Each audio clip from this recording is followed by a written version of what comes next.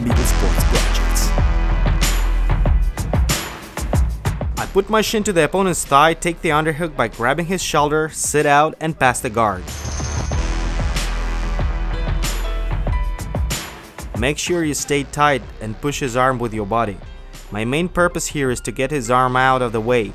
Controlling him with the underhook from the one side and my hips from the other, I throw my leg leg over and trap his arm.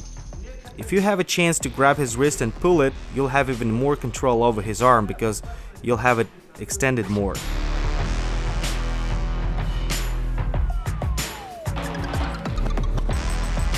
Now he can defend himself only with his free arm. I grab him by the wrist and push it. I have much better leverage here, it's almost like bench press here.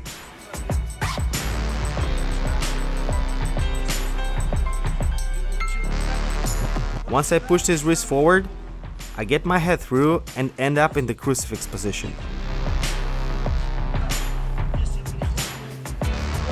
Important point, the higher you swing up, the heavier your punch will be.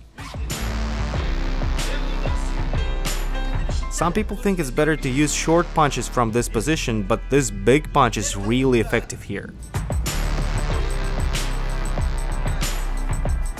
You can use various elbow strikes here as well, if they are legal.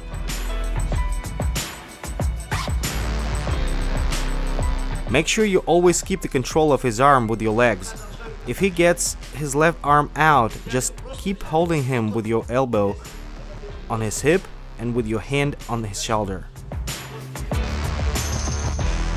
Stay on him and look for the opportunities. You can follow up with a submission or trapping his left arm again and throwing strikes on him.